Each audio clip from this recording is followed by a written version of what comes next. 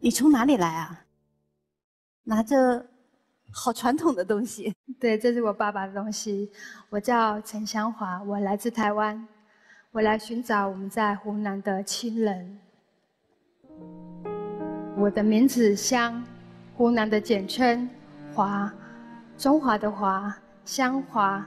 在爸爸取我名字的时候，就已经道尽了爸爸对家乡所有的思念。那你一直生活在中国台湾？是，我从小到现在，我们都一直住在台湾的新北市。爸爸妈妈结婚之后，我们家有四个小孩，我排行老三。我记得在我小学的时候，爸爸偶尔会去接我。啊，有一次爸爸去接我的时候，然后我们有个同学就跟我说：“香华，你阿公来接你了。”我就很生气的对他说：“那是我爸啦。”是因为爸爸年纪会看着比较大一些。呃，爸爸跟我差了四十八岁。四十八岁。那在回家路上，我就跟爸爸一前一后这样走，然后眼睛一直看着爸爸的背影，跟着爸爸走，然后爸爸也不时的回过头来看我有没有跟上，然后一直走到家巷口的时候。我就小跑步的去牵爸爸的手，然后很傻娇的跟爸爸说：“爸，你下次来要骑脚踏车啦。”因为小时候喜欢给爸爸载，然后那时候牵爸爸的手，觉得爸爸的手好厚，好温暖。我七二年生的，在我出生的那一年，刚好是爸爸退伍的那一年。在爸爸退伍之后。就在家里开了一间小小的杂货店，爸爸就准备了两块黑板，大概这样子的大小，然后他一块呢就放比较高，爸爸自己写自己的东西，然后一块黑板就放，就是我们小朋友的位置，也就是在这个黑板上面，我第一次看到了湖南武冈这四个字。湖南武冈是我们的家乡。那那时候我就记得爸爸是。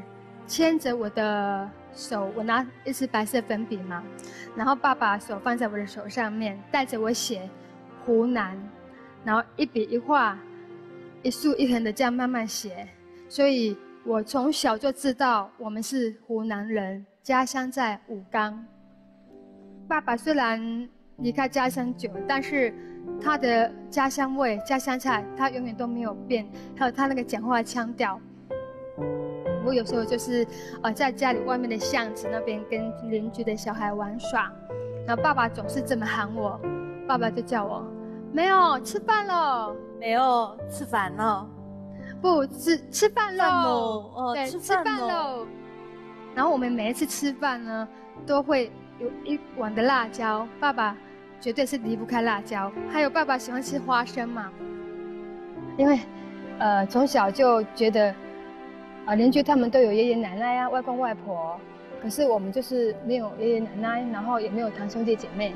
因为爸爸真的太晚婚了，我我小的时候爸爸已经快六十岁了，所以爸爸可能当时认为我小，没有给我讲那么多。十岁左右的那一年，有一天晚上在睡觉的时候，我忽然就好像听到爸爸在哭的声音啊。后来隔天问爸爸，爸爸就说他昨天晚上。梦到奶奶，奶奶在他梦中又黑又瘦，简直不像个人样。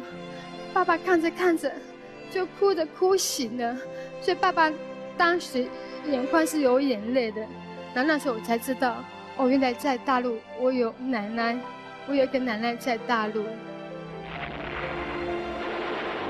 一九四九年的一天，二十五岁的爸爸。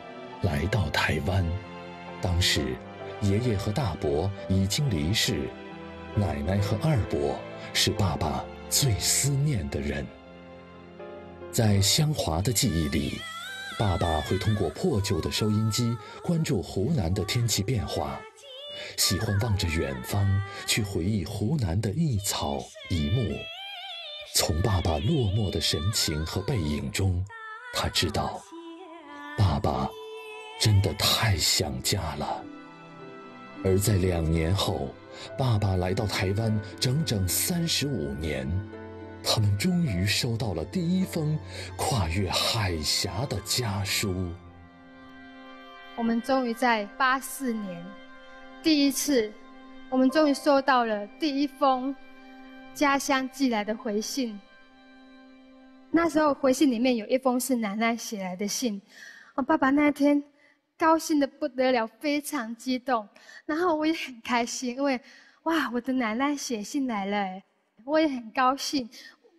当时奶奶的信是这么写的，她说。看到儿的全家相片，娘万分高兴。看到我多年在外的细胞面容，及未见面的儿媳、儿孙、孙女，长得活泼喜爱，要是能欢聚一堂，叫妈妈，叫奶奶，那就多热闹啊！加上你一家，共有三十一人。那就是一个大家庭啊！娘没有什么奉告，送仔女多读点书，保重自己，谨记。收到第一封信，爸爸真的是感动到我，我可以，我现在可以体会到爸爸当时的心情。那时候真的很很高兴，而且很兴奋，很期待，很期待。然后在八八年。爸爸决定回去探亲。爸爸回去探亲的时候，帮爸爸准备了一袋衣服，整整满满的一大袋，然后还有一些吃的饼干，还有一点点药品。然后爸爸还准备了一些小小的红包。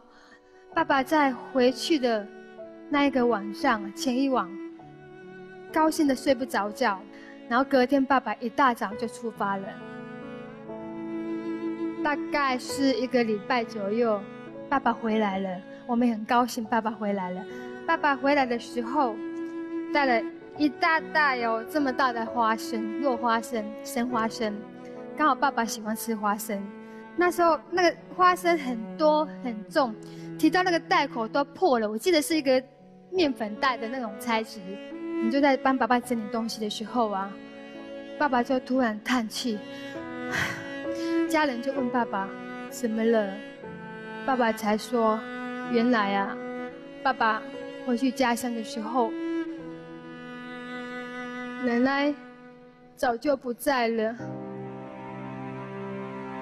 你有看到奶奶？那那封家书，那封家书是家乡的家人们他们口述，然后请别人代笔写的。当时寄来的照片上的那个奶奶。”也是他们请邻居来冒充拍的，所以当时听到的时候，爸爸很失落，很失望。回到了故土，却看不到了父母的音容笑貌。对，当时他们那善意的谎言，应该是不想让爸爸难过，怕爸爸伤心。八九年，我们又收到了来信，有一封是我们堂兄署名给我们子女的。堂哥在信上对我们说：“我们虽然出生异地，但是我们有共同的祖父、祖母、故乡、故土。姐妹弟弟们，下次你们一定要回来，看看我们的故乡故土。我也不知道寄给了日月潭多少的思念，我多么希望解除我们的遥遥思念。那一天。”将是我们最幸福的一天了。你大陆的小兄弟陈满生，在读完这封信之后，我就觉得跟堂兄、跟家乡的距离忽然拉近了。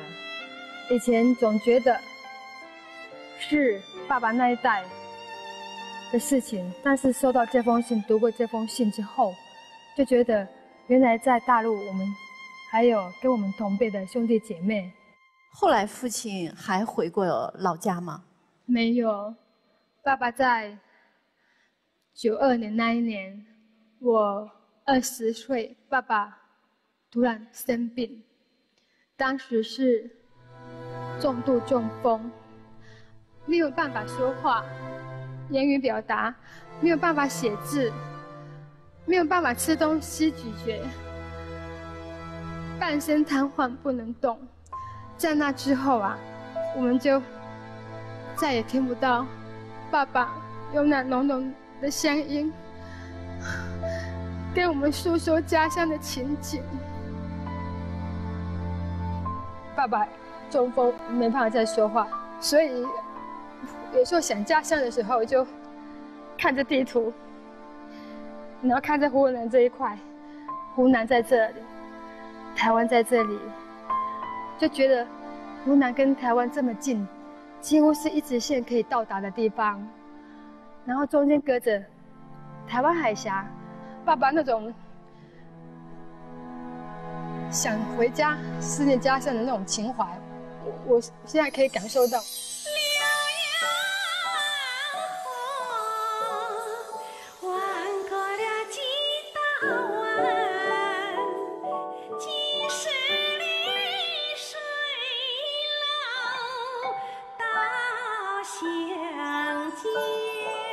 那几年我们是有想写信告诉亲戚，可是因为那时候还小，我们又。不晓得该怎么说，也不敢写信。直到零一年，那年我二十九岁，一大早，弟弟就忽然大声的喊：“快起床，爸爸没有呼吸了！”然后我就惊醒，就赶快送爸爸到医院去。那时候看到爸爸，觉得爸爸唯一还有生命气息的是他那胸口。上下起伏呼吸的动作，以为爸爸就回来了，真的以为爸爸回来了。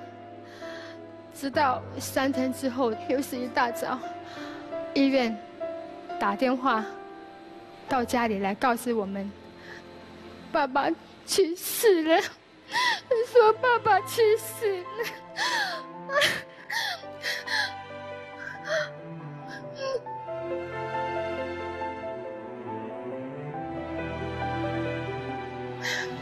爸爸就这样走了，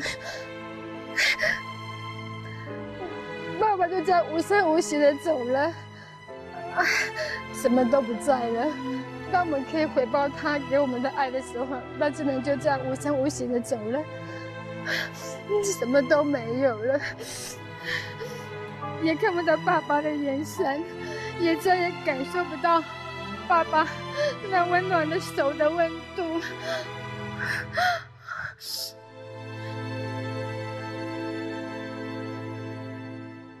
在爸爸去世后几年，我们就想告诉亲戚了，所以就去找信，但是那些信竟然找不到了。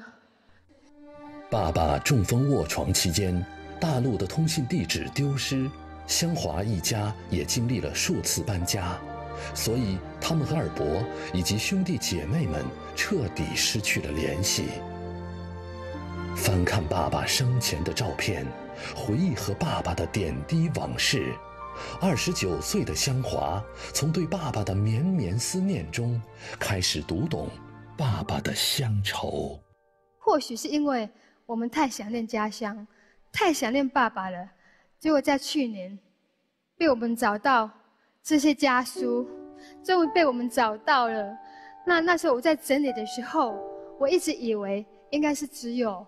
家乡寄来的信，然后，结果，在整理的时候，竟然看到有几张是爸爸亲笔写的信。这一封是爸爸在我们八四年第一次，呃，收到家乡的信的时候，爸爸当初的回信。爸爸写着：“母亲，大人膝下。”七月一日，接到来信。这是儿日夜盼望了已四十五年了，终于如获至宝。所谓家书值千金，其实这几十年来，天天盼望的，又何止千金，何止是万金呢？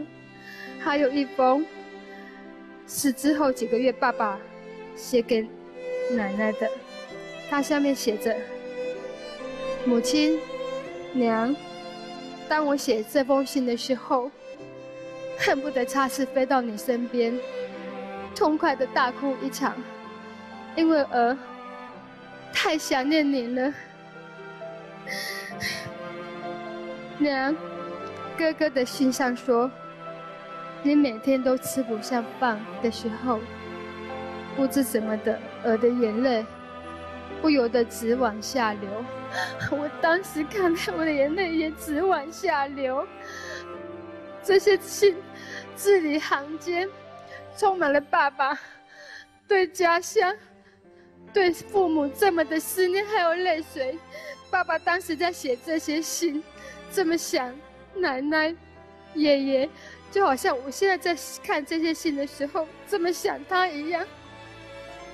香华带着信封上的地址，先后两次回到湖南寻找，却发现老家的行政区划发生变更。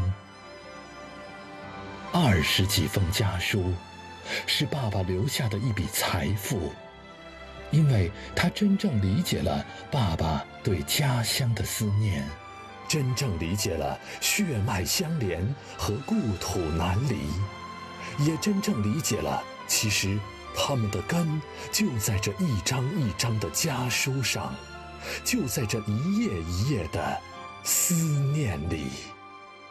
我这次来带了一颗爸爸最喜欢的印章，这有两颗一模一样的，一颗我们留在台湾，一颗我带回来。印章上刻的是什么字？爸爸的名字就是这个印章。如果如果说我们可以找到亲戚回家看爷爷奶奶，记住我把这些东西埋在爷爷奶奶的墓里面，跟爷爷奶奶一起。爸爸回来了，爸爸朝思暮想的爷爷奶奶就在这里，就像这些落叶一样，落叶总是要归根嘛。看了这么多落叶在这里，我觉得我想要带爸爸回来落叶归根，因为。爸爸的根也是我们的根嘛。然后，我又我我准备一个小小的玻璃罐，也想挖一点点土。爷爷奶奶坟墓的那个土，我会带回去。我会带回去台湾。虽然爷爷、奶奶还有大伯他们都不在了，可是我希望二伯还在。二伯还在的话。大约是九十五、九十六岁左右，我也希望可以看到我们那么多的堂兄弟姐妹他们。这个香华是你爸爸给你起的名字，是香是湖南的香，华是中华的华。这个你父亲不仅给了你生命，也给了你这么美丽的名字，海峡两岸。都是中国人，一家所以，我们海峡两岸一家亲啊，血脉相连。我们都是一家人了。对，是打断了骨头，还连着筋的兄弟姐妹。对。来，走到舞台中央，谢谢。看能不能给你找到这一家人。好，谢谢。有请苏东。陈香华大姐你好，我是等着我寻人团的苏东。我们看到了你在等着我融媒体平台上登记的要来寻找失散的大陆亲人的求助，我们也很感动。我们是第一时间联系多方资源，帮助您。展开寻找。我们来到了你提到的湖南省武冈县金城市乡，发现这里的行政区划早已发生了变化，武冈县变成了县级市，而金城市乡规划到邵阳县，很难找到当年的村子所在。于是我们进一步扩大寻找范围，横跨一千六百多公里。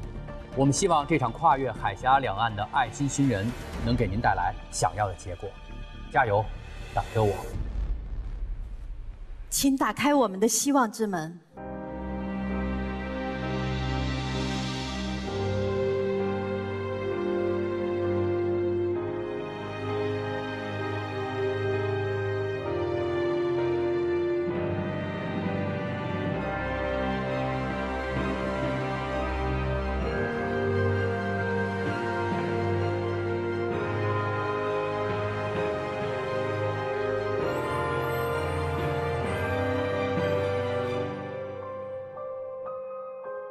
请走向你的希望之门。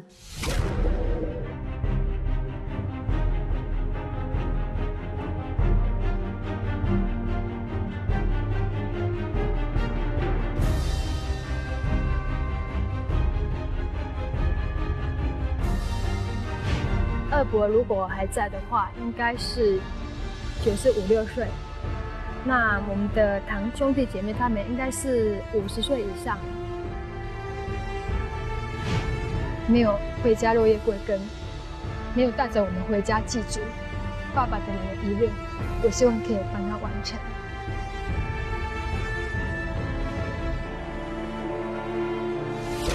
准备好了吗？准备好了，为缘寻找，为爱坚守，请开门。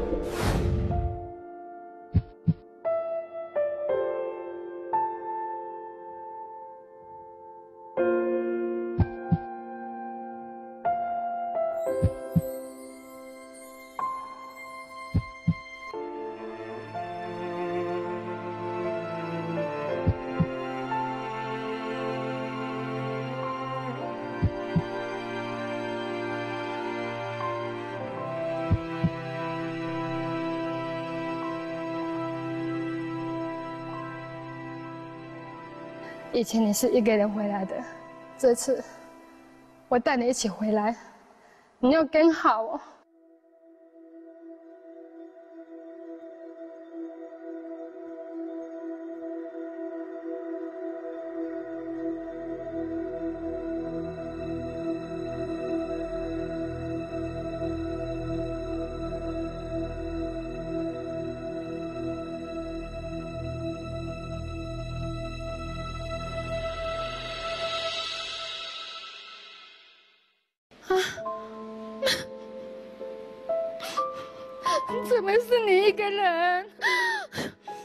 香花姐，你别着急。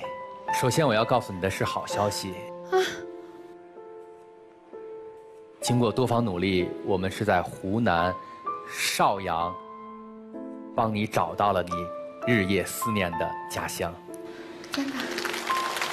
谢谢。家人在吗？你爸爸在家呢，是三兄弟。爸爸排行的是老三，家里的爷爷奶奶和大伯去世之后呢，二伯就成了家里的大家长。他始终有一个愿望，就是寻找并且把你们带回家来团圆。二伯呢这些年一直有这个梦想，所以他一直在坚持着。他后半辈子戒了烟，戒了酒，就是希望能有一天能见到你们。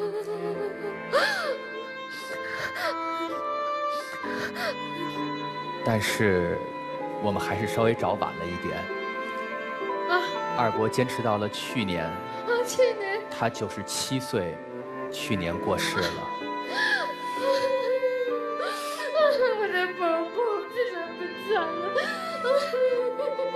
我真的想看到他，是我爸爸的兄弟。来，香花姐，我们给你找到了一张二伯的照片。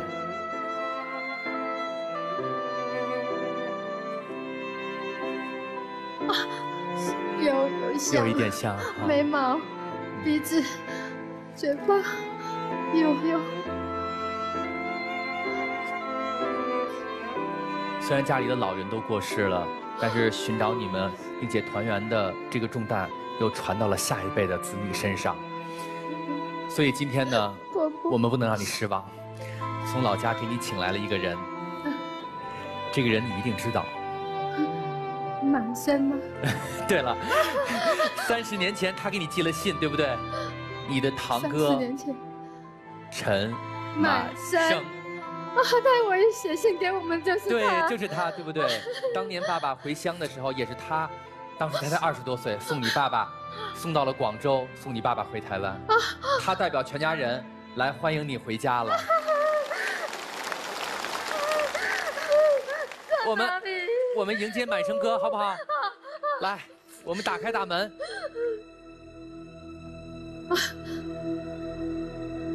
啊！我堂哥。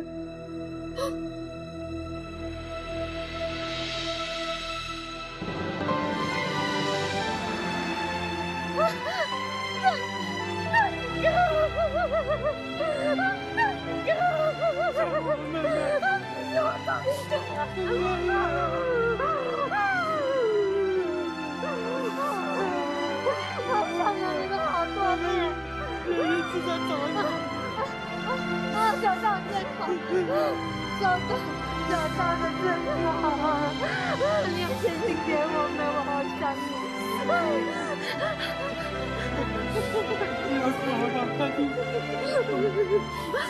你现在在广州吗？是，没有，我在那个浙江宁波。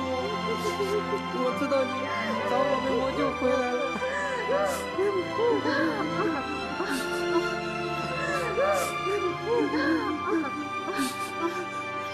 找到就好，找到就好，哎呀，不哭了，不哭了。有有像你的爸爸，有眉毛很像，很像，脸型也很像，有很像。来，香华拉着你满生哥，咱们回去。慢慢聊聊家里的事儿，好不好？我堂兄了，从小就没有堂兄弟，我找我也没有妹妹，找到妹妹好。你你是唯一有写信给我们的，所以我对你印象很深。是啊，我找到就好，找到就好。来，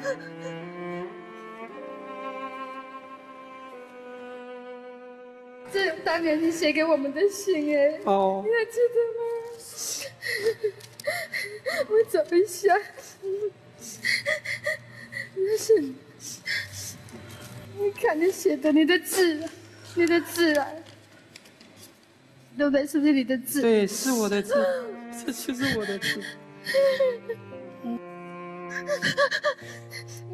这个是这个是我家乡，我自己我们家里种的花生，因为湖南湖南种的。三叔不是我那年我啊，他回家的时候，我们带给他带了一袋花生，我对对对，我一路把他送到广州去的。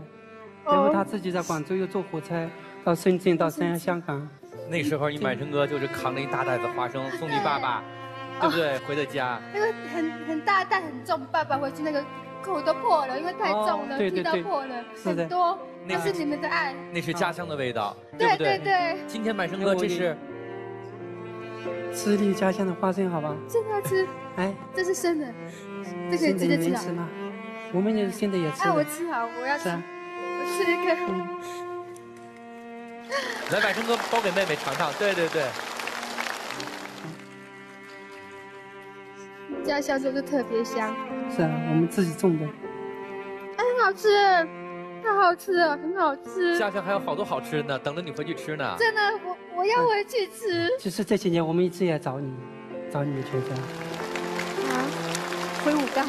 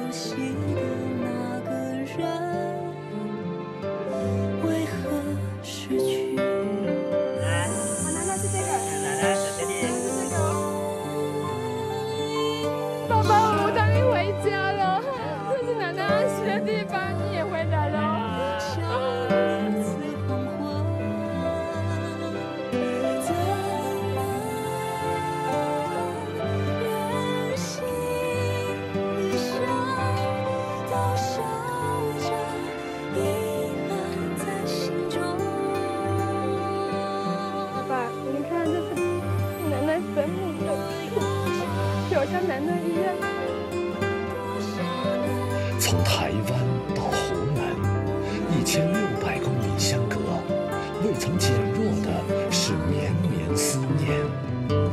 从少小离家到落叶归根，六十九年归程，无法割舍的